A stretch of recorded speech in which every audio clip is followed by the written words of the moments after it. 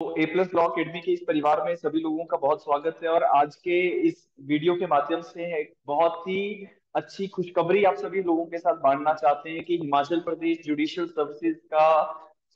Final result आज out हो चुका है और जिसमें टोटल जो कैंडिडेट्स सिलेक्ट हुए हैं वो एट कैंडिडेट्स को फाइनली सिलेक्ट किया गया है जिसमें से चार candidate A plus law academy से जुड़े हुए हैं। सो so, हमारे पास rank two Paras Ahuja rank number three Sushmita Sharma rank number four Vikas Thakur and rank number eight Riddhi Patarwal ये सभी हमारे जो छात्र हैं सभी को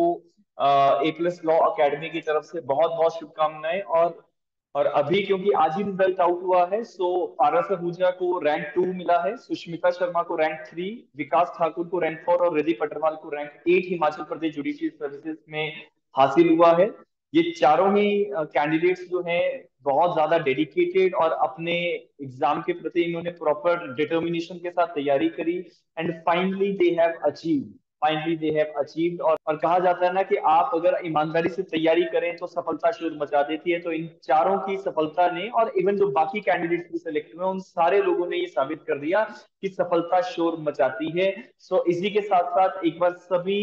ए प्लस लॉ अकेडमी के सब्सक्राइबर्स और जितने भी हमारे व्यूअर्स हैं, उन सभी लोगों की तरफ़ से ये सभी हमारे जो कैंडिडेट हैं, ये बधाई के पात्र हैं। और इन सबको एक बार दोबारा से हमारी तरफ़ से बहुत बहुत कॉन्ग्रेचुलेशन